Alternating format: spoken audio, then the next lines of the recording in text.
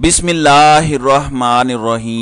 असलकुम नाजरीन कराम, नई वीडियो में आपको खुश आमदीद कहते हैं। पूरे का पूरा एक हमें रियासती इंतज़ाम नज़र आ रहा है। रियासती इंतज़ाम को छोड़ के अगर देखा जाए तो तमाम तर सपोर्ट हर तरह की मदद पीडीएम के साथ है। हर चीज़ इमरान खान को निकालने, इमरान खान को क्रश करने, इमरान खान को सज़ा देने के लिए लगी हुई है। लेकिन उसके बावजूद भी अगर बात ना बने बने तो फिर मान लेना चाहिए कि आपके बस की ये बात नहीं है। इस वक्त अगर आप टीवी पर बयानियाँ सुनेंगे, हकूमती वज़रा की गुफ्तु सुनेंगे तो वो कह रहे हैं कि देखें, लोगों ने इमरान खान को मुस्तरद कर दिया है। देखें, लोगों ने तहरीक इंसाफ को छोड़ दिया है। ये राना सनाउल्ला की ख्वाहिश थी, वो कह रहे थे कि तहरीक इंसाफ को इवन इलेक्शन तक लड़ने की इजाज़त ना दी जाए।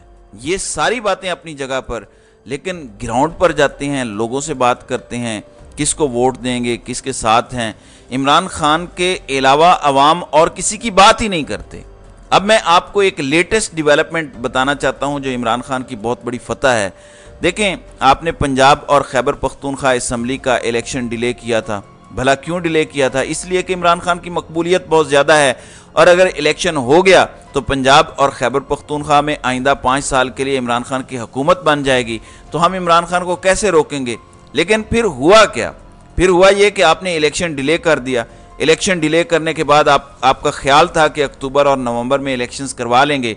फिर आपको डर ये था कि आप फिर हार जाएँगे। फिर 9 मई के वाकयात हुए। और उसकी आड़ में तहरीक इंसाफ को क्रश करने की पूरी की पूरी एक सीरीज़ हमें नज़र आई। उसके बाद भी अब खौफ इतना ज़्यादा है कि इलेक्शन में जाने से अब भी डर लगता है। अब इस वक्त कोशिश यह है कि अक्टूबर और नवंबर में भी इलेक्शन ना करवाए जाए। अब मैं आपको इमरान खान की शानदार फतह का बताना चाहता हूँ। शानदार उनकी फतह इसलिए है कि उनके हक में मोहर तस्दीक लगी है। ये मोहर किसी ताकतवर ने नहीं लगाई। किसी ऐसे मरकज से नहीं लगाई गई जहाँ से पता चले कि इमरान खान के मोरे हैं, इमरान खान प्रोजेक्ट हैं वगैरह। ये पाकिस्तान की आवाम ने पाकिस्तान के लोगों ने मोर लगाई है। बहुत सारे लोग जो पाकिस्तान के अंदर हल्के की सियासत या ग्राउंड सियासत, बिरादरी सिस्टम की सियासत को समझते हैं, उनमें हबीब अकरम और सुहेल वड़ैच बड़ा नाम है। अब सुहेल वड़ैच का ये कहना है कि इस वक्त परेशानी ये है कि तहरीक इंसाफ अगर इस मौजूदा सूरत हाल में, यानी इन पाबंदियों और इस जबर के बावजूद अगर इलेक्शन में चले गए तो गालिब इम्कान यह है कि पाकिस्तान तहरीक इंसाफ भारी जीत के साथ आ जाएगी। और उसकी वजह क्या है? बाकी सारी बातें मीडिया के ज़रिए या जो हाइप क्रिएट की जा रही है वो अपनी जगह पे, जो सूबाई असम्बलियों के टिकट्स पाकिस्तान तहरीक इंसाफ ने जारी किए हैं, अस्सी फ़ीसद लोग तहरीक इंसाफ के साथ हैं। टिकट होल्डर्स तहरीक इंसाफ को छोड़ के नहीं गए। क्या आपको लगता है इस पर वो इस इस, उन पर प्रेशर नहीं है? बहुत प्रेशर है। उसकी वजह यह है कि टिकट होल्डर हल्के की नबज को जानता है। उसको पता होता है लोग किसके साथ हैं या लोग क्या चाहते हैं। जब उनको ये पता हो कि इस तमाम तर सूरत हाल के बावजूद भी लोग इमरान खान के साथ हैं तो टिकट होल्डर क्यों छोड़ के जाएगा? सुहेल वड़ैच के मुताबिक सूबाई इसम्बलियों को छोड़ देते हैं। अभी तक नेशनल इसम्बली के जितने टिकट होल्डर्स हैं, जो तहरीक इंसाफ के टिकट पर लड़ के आए या सबका असम्बली के मेंबर्स हैं, उनमें से कितने लोग छोड़ के गए हैं? शहरी इलाकों में तहरीक इंसाफ का वोटर उसी तरह से डटा हुआ है, वो बिल्कुल भी पीछे नहीं हटा। अब इस सारी सिचुएशन में एक हाल बाकी रह गया है। पहले यह था कि पंजाब और खैबर पख्तूनख्वा की जो असम्बलियाँ हैं, उनका इलेक्शन डिले किया जाए। अब दूसरी सूरत हाल यह है कि इमरान खान को किसी ना किसी तरीके से आउट किया जाए और रात को हामिद मीर बता रहे थे कि जब तक इमरान खान डिस्कालीफाई नहीं हो जाते या इमरान खान जेल नहीं चले जाते इलेक्शन नहीं होंगे। सुहेल वड़ैच के बकौल जब तक इस्टेब्लिशमेंट इस चीज़ का इंतज़ाम नहीं कर लेती कि कोई सूरत हाल हो और तहरीक इंसाफ बेअसर हो जाए, तब तक इलेक्शन की तरफ़ नहीं जाया जाएगा। अब इन सब अहबाब की बातें ठीक होंगी लेकिन बतौर एक अदना तालब इल्म होने के नाते, मैं एक सवाल इनसे ज़रूर पूछना चाहता हूँ कि पिछले एक डेढ़ साल से जो कुछ हुआ है अनप्रेसिडेंटेड है पाकिस्तान के अंदर। अगर इसके बावजूद तहरीक इंसाफ का असर नहीं टूट सका और तहरीक इंसाफ वहीं की वहीं कायम दायम है तो फिर ये कहाँ से आपने सोच लिया कि पाकिस्तान तहरीक इंसाफ आइंदा चंद महीनों में टूट जाएगी और तहरीक इंसाफ का वोटर टूट जाएगा? लोगों के टूटने से अगर तहरीक इंसाफ टूटती उठती तो आपने बहुत सारे लोग तोड़े हैं। इसका मतलब यह है कि वो लोग टूटना ज़रूरी हैं, जो वोट डालने वाले हैं, जिन्होंने इमरान खान के नाम पर वोट लेने हैं, वो तो टूट रहे हैं, वो तो हमें भी नज़र आ रहे हैं। अब इमरान खान ने नाजरीन कराम रात को एक बड़ा दबंग खिताब किया। ख्वाजा आसिफ की स्टेटमेंट पर उन्होंने कहा कि मेरी हुकूमत, मेरी तो हुकूमत के एक साल बाद ही जनरल बाजवा मेरी हुकूमत गिराने का सोच रहे थे। उन्होंने कहा कि जनरल बाजवा की हैसियत क्या थी? वोटों से तो मैं मुंतखब होकर आया था। तो फिर जनरल बाजवा कैसे, किस हैसियत से ये फैसले कर रहे थे? अब मुस्लिम लीग नून आजकल जनरल बाजवा के हवाले से गुफ्तगु नहीं करती। कल ही हामिद मीर ने दावा किया कि जनरल बाजवा का कहना था कि लाहौर के ऑरेंज ट्रेन मंसूबे में शहबाज शरीफ ने 45 फ़ीसद कमीशन खाया। लेकिन अब नून लीग इसको चैलेंज नहीं करेगी और इस सवाल का जवाब भी नहीं देगी कि वो जनरल बाजवा, जो आपको इकतदार में लेके आए हैं उन्होंने जो आप पर 45 फ़ीसद कमीशन खाने का इल्ज़ाम आयद किया है, उसका जवाब कौन देगा?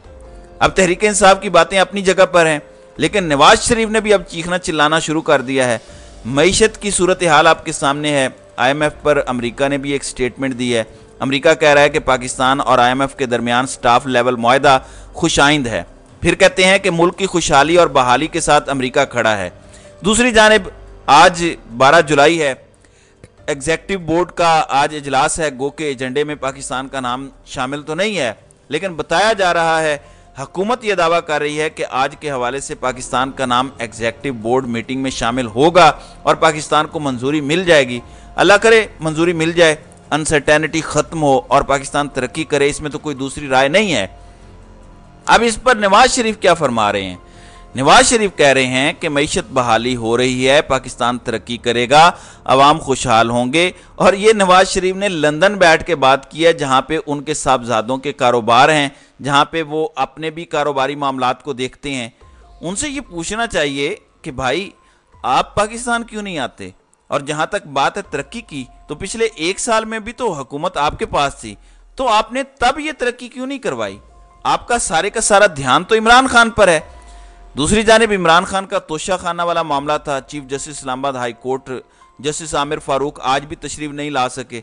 बताया गया है कि उनकी तबीयत नासाज है तो इस वजह से तोशा खाना समेत इमरान खान के केसेस में उनकी अपील नहीं हो सकेगी। इमरान खान ने ट्रायल कोर्ट का मामला रोकने की इस्तः की थी, लेकिन ट्रायल कोर्ट ये कह रही है कि आपके पास स्टे आर्डर है तो जमा करा दें, वरना ट्रायल आगे बढ़ेगा। इवन इमरान खान के खिलाफ तोशा खाना वाले गवाह भी पहुँच चुके हैं। अंदाज़ा करें कि ये सब कुछ कितनी तेज़ी से चल रहा है। दूसरी जाने बहुत से सियासी बेरोज़गार जो इमरान खान को छोड़ के गए थे, उनके हवाले से खबर है कि उनको नौकरियाँ मिल गई हैं। नौकरियाँ क्या हैं? हम लोग तो यूट्यूब पे ज़ाहिर है आपको मालूम पहुंचाते हैं, जो चीज़ें टीवी पर आपको नहीं दिखाई जाती या कम अज़ कम वो ख़बरें जो बहुत ज़रूरी होती हैं टीवी वाले, उन्हें अपनी मर्ज़ी का रंग देते हैं, उसे हम यहाँ खोल कर बयान करते हैं। अब ज़रा ख़बर सुन लीजिए। फाज चौधरी, मुसद्दिक मलिक, मिफ्ता इस्माइल और इमरान इस्माइल, ये एक यूट्यूब चैनल शुरू कर रहे हैं। और बताया गया कि फवाद चौधरी, मिफ्ता इस्माइल और मुसद्दिक मलिक यूट्यूब शो करेंगे। सबक गवर्नर सिंध इसी यूट्यूब चैनल पर कुकिंग शो करेंगे और नए रूप में नज़र आएँगे। जबकि सबक वज़ीर ख़जाना, मिफ्ता इस्माइल और सबक वज़ीर ममलिकत मोहसिन शाह नवाज़, ये सारे लोग सियासत के अलावा कुछ गैर सियासी शोज़ भी करेंगे। चलें अगर यहाँ किस्मत आजमाना चाहते हैं, कोई नया प्लेटफॉर्म लाना चाहते हैं, पहले री इमेजनिंग पाकिस्तान किया गया तो अब इसके बाद यूट्यूब चैनल आ गया है। ये तो खुला प्लेटफॉर्म है, हम भी आपको वेलकम कहते हैं। तहरीक इंसाफ छोड़ के अब आपको एक नई नौकरी मिल गई है। अगर इस तरह से आपके मसाइल का हल निकलता है तो हम आपको वेलकम कहते हैं। तो नाजरीन कराम आपकी इस वीडियो के हवाले से क्या राय है? आप अपनी राय का इजहार कमेंट सेक्शन में ज़रूर कीजिएगा।